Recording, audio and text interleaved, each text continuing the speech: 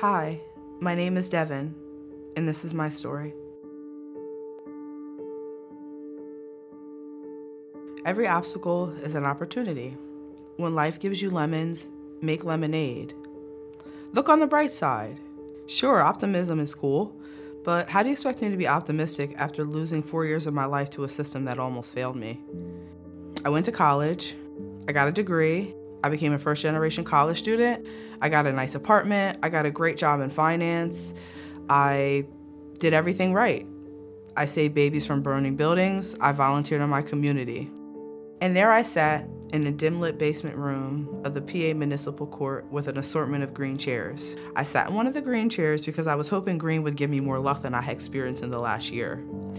Out of 169 charges, ranging from felonies in the first degree to misdemeanors in the third degree, only one stuck. And it took that one charge to set my family back 200 years. I was coerced into participating in a crime with my ex boyfriend at the time. You would have thought that someone would have been in that courtroom with me that day, that I would have had a domestic violence advocate petitioning during my sentencing. But I didn't. Just me and my abusive ex boyfriend, who had already been on probation for the same exact crime that we were in court for today. So I lost my job, my car, my invested money, I respect in my community. Perfect. Add a little bit of court probation fees, 48 grand in college debt, sprinkle the inability to get a job, and you have yourself poverty pie.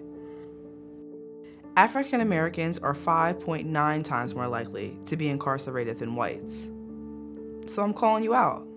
I'm calling out all white men who are in position and who are in power, who control the narrative and the fate of black and brown people, to check your privilege.